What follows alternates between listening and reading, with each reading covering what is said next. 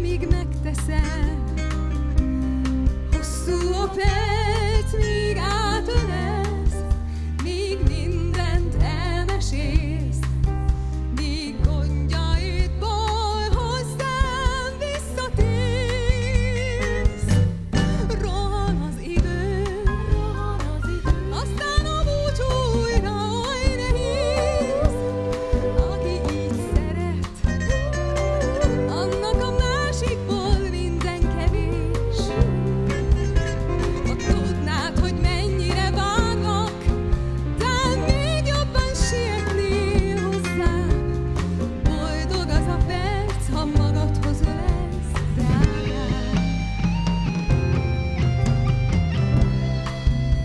Te azért születtél, hogy szeresselek. Én azért, hogy téged szeresselek.